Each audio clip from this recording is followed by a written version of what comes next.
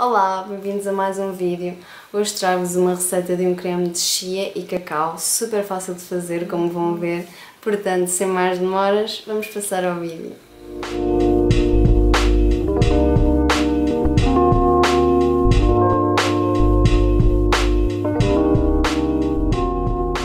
No liquidificador, coloquem 200 ml de leite vegetal.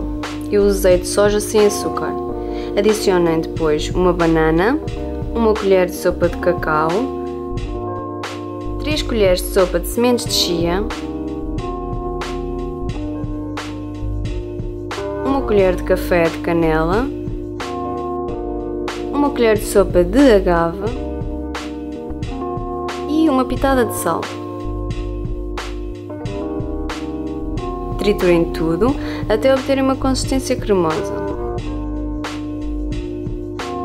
Depois, coloquem a mistura em taças.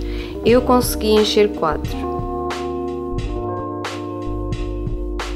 Decorem a gosto.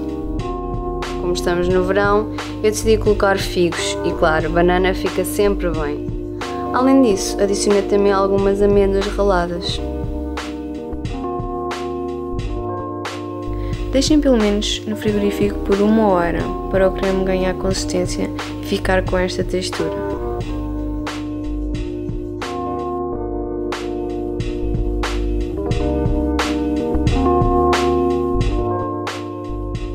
É esta a receita.